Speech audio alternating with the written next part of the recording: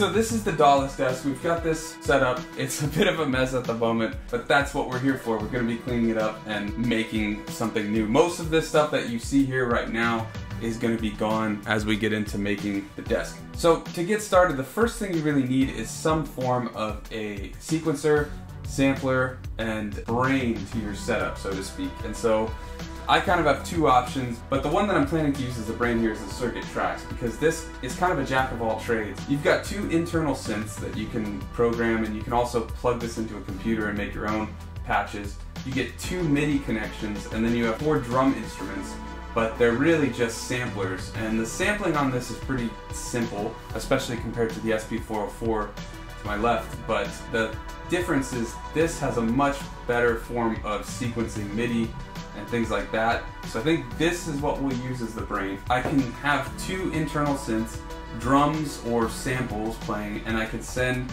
MIDI to two synthesizers. There are other things you could check out, like um, the SP44 is great. The MPCs are really cool. They have MIDI capability and things like that. Elektron makes a few. There's an Octatrack and a Digitakt. Uh, I'm not very familiar with any of those, but I know they would work. But this one's just really intuitive. It's easy to use. There's no screen. So you're just like right into it and it's it's very simple how they lay everything out on these pads. Now the next most important part, and this is almost optional, but it is really helpful to have. Having samples in here is great, but the sampling method is pretty simplistic. That's where this, the SP404 comes in handy. This is like a dedicated sampler, but it also has patterns you can create and what's really cool is you can use this as an effects processor just with these parts alone, but you can also plug in external instruments here. So you can use this at the end of your setup as a sort of audio interface and you can use it to master your track. What's awesome though is it's got a ton of internal effects that we can send all of these external inputs into and we can also resample what we're putting into it and have it as a pad. It gets a little complex if you don't have these two synced, the uh, SP and the circuit, and I don't at the moment. It's all about timing when it comes to that. Now the next most important part is choosing your synthesizers. You don't have to have any synthesizers, especially if you're using a circuit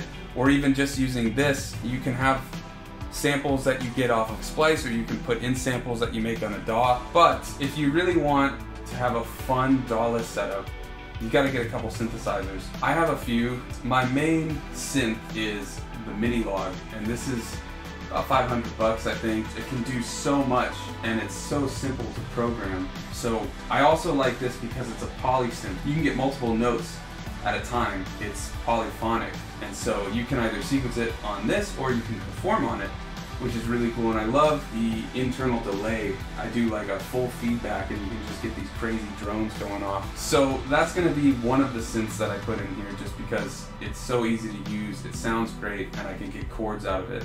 Then I want something that acts as a bass, but also can do leads and some modulation. So we've got a few choices. There's this little guy, which is almost an extension of the Minilogue. If you get the Minilogue XD, this is built into it, but I don't really like the setup of plugging it in, and I don't have those mini MIDIs. There's the Korg Volca FM, which is great, but I just never really find use for it in my music usually. It's fun just for experiments. There's the MS-1 that I've got over here, which is a monophonic synth, so it can only hold one note at a time. Really easy to use, but there's no patches. And then there's the Erebus by Dreadbox. And this thing is in almost all of my DAWless Jam videos, that and the Minilogue usually. But there's a reason. It sounds great, it's really fun to program, and it's semi-modular so you can really program cool patches with it. These drum machines that are here, I've got the Volca drum and the TR-08. They're awesome, but it's almost pointless to waste a MIDI connection with these drums when you can either put them in the drum samples here or have them in the drum samples there. I've also got this four track cassette recorder and this is awesome and it could work as a mixer but I've got the SP over here and I mean it's not a true cassette player but I can get warping out of it, I can get saturation and I can do so much more and I'd rather just keep this at the end instead of complicating it having it go from circuit to SP to the cassette so I think we'll just keep that there because it looks cool, but not really use it at the moment. But that's the other thing about DAWless setups is they're incredibly, for lack of a better word, modular. You can unplug one thing, plug in another thing. But if you're just starting out, I think it's great to get some sort of dedicated brain or heart to the system, like the circuit tracks, and then you've got some internal synths built in, you've got samples, you've got things like that. The SP is a great way to start too. Any sort of sampler would be a great way to start. From there, I would honestly say polyphonic synth is the way to go because you have so much more control, you can do so much more with it, and you can make it monophonic. Most of these synths have a mono mode, a unison mode, things like that. But then you can do chords and things like that, and if you've got a dedicated sampler, you could record into it and make multiple chord progressions, leads, anything you want like that. So this is what we've got. I've talked a bit about which ones I'm planning to do, and I think this is a good start. So we'll have chords here, bass and leads here, samples if we want it, sequencing, and two more synths here, and then effects processing, mastering, but also sampling, and if we want, we can resample audio. So let's get this built up. I'm gonna get the stuff off that we don't need, and then let's have a jam. All right, so this is the setup. So I've got the circuit as the brain. I lifted it up so that I could have the SP here. MIDI 1 is going out into the Erebus. Two is the Minilogue, and all of the circuit sounds are going into the SP, and the SP is being recorded. So you just have to hit this external source to get external input to go through here. Now what's really cool though is that we can set buses on here and we could put let's say a compressor and a 404 vinyl and then now everything's being affected by this. So we can go to the 404 sound and we can up the noise just so you can hear it. There it is. We can get some lo-fi going, right?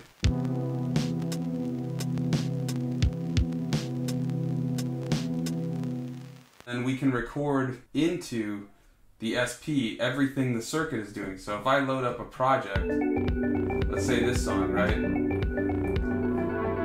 We could record that right into here. Let's set the time. I think it's 112. Yeah. Okay. So they're synced. So I have it set to wait. So as soon as I hit play, it's going to start recording. So here we go.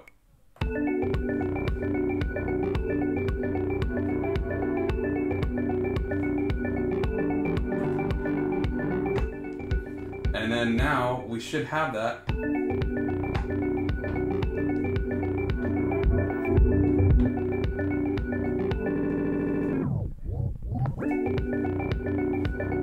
So you can set loops from stuff we're making here and then make even more on it. We free up space on this limited machine. So that's one of the issues with this.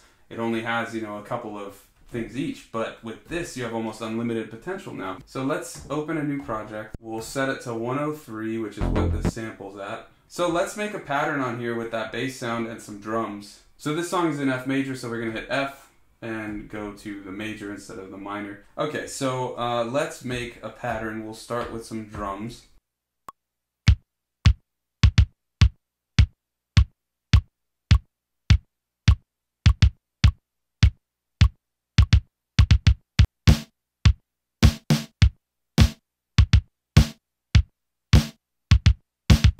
Alright, so that's our first pattern, it's just drums, and then I'm gonna copy that over and now we'll add some hi-hats and then we'll do another one where we put the bass in. I just want to have options to pull from.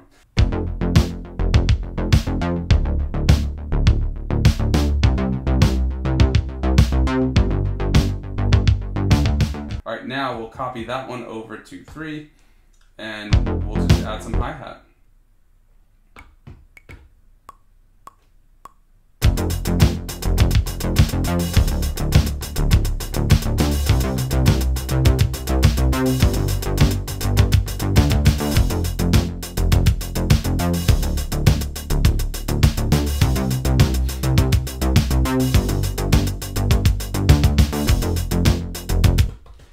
Perfect. So now we've got some drums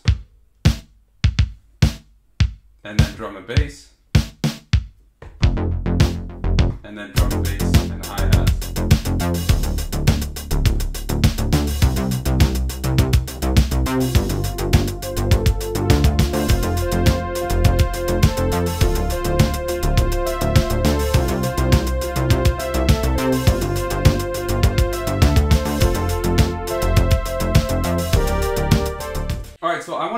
some chords. I'm just gonna put a click on really quick.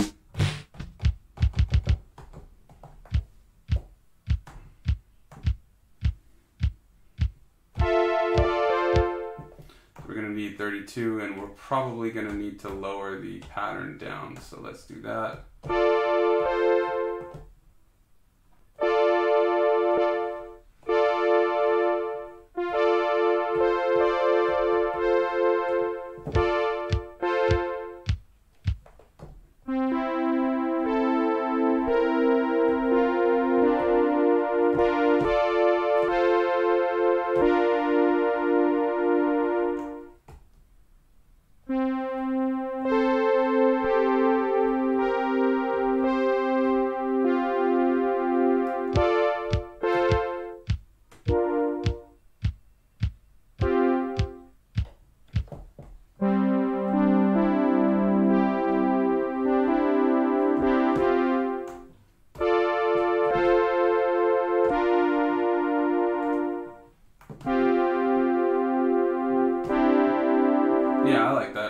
So I went the lazy way and just programmed it in, but that's fine. Um, now we're just gonna add the gate.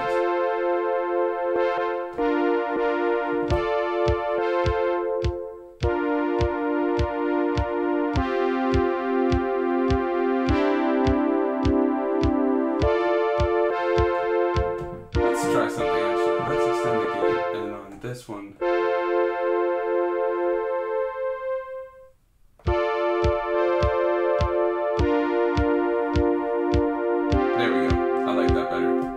So let's see if we hit these at the same time, will we get it right?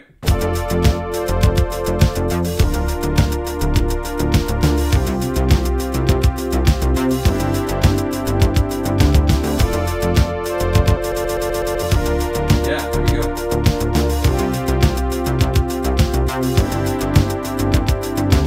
All right, let's put in a little arpeggio as well. Um, I'm thinking we'll use this.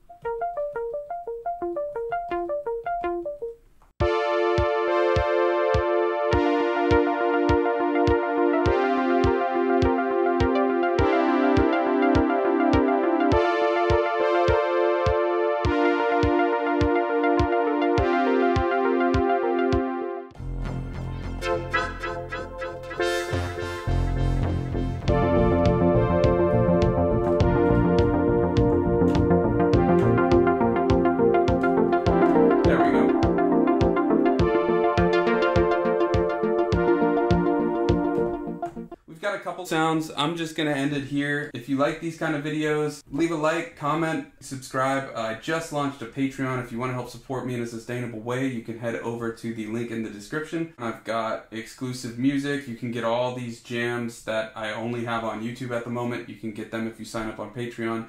I'll also be doing production live streams. There's a bunch of other cool stuff. If you want to check it out, head to the link in the description. I'd love to have you over there, but just hang out is more than enough. Until next time, thanks for watching.